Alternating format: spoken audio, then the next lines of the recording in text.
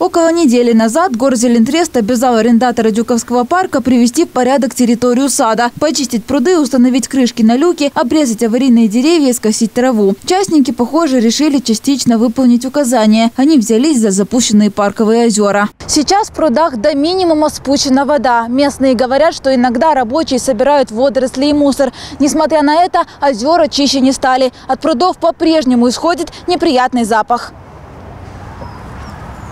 Живущих там рыб обещают сохранить. Именно поэтому воду с прудов откачали не полностью. Одесситы, которые живут недалеко от Дюковского, говорят, что рабочие занимаются уборкой лишь бы как. Ситуация от этого не меняется. Лет 15 тому назад кто-то умудрился просто высадить камыш здесь. И вот теперь от этого камыша просто реально не избавиться. Его пытаются чистить. Он становится чище и потом снова зарастает.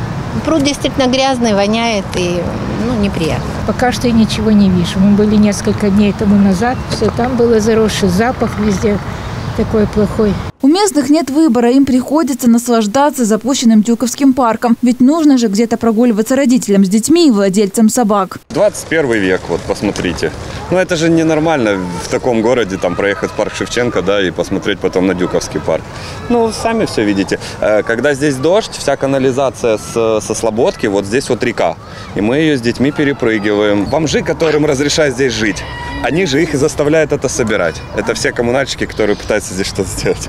С 2007 года Дюковский парк арендует центр «Катюша», однако фирма ни разу не попыталась привести его в порядок. В 2014 году «Катюша» анонсировала строительство на его территории гостиницы и торгового центра. В ответ получила лишь протесты жителей района. В марте прошлого года в парке обосновалась масштабная наливайка, но чуть позже ее снесли. Мэрия пыталась через суд расторгнуть договор с фирмой и вернуть парк в собственность громады, однако тяжбу проиграла. Бывший сад Дюка де Ришелье остается черным пятном на карте Одессы. Нарина Щеглова, Владимир Ивжич, телеканал «Репортер».